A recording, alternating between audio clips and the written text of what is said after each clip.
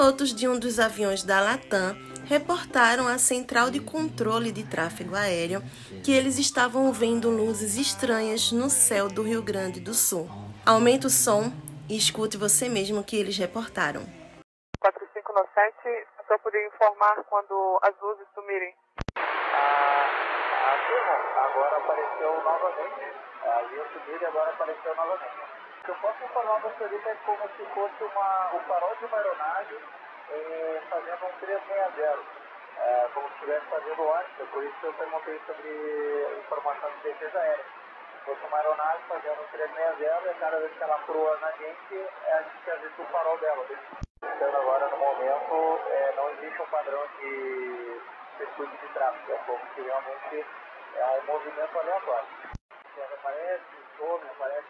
Várias vezes durante as pontes aí. Prossiga.